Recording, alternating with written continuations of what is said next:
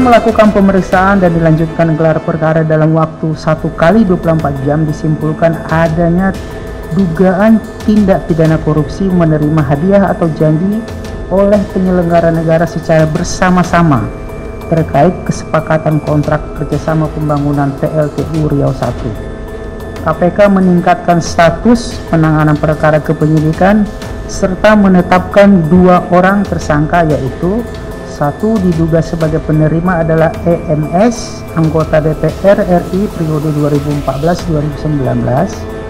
Dan yang kedua diduga sebagai pemberi adalah JBK yang merupakan pengusaha yaitu pemegang saham Black Gold Natural Resources Limited.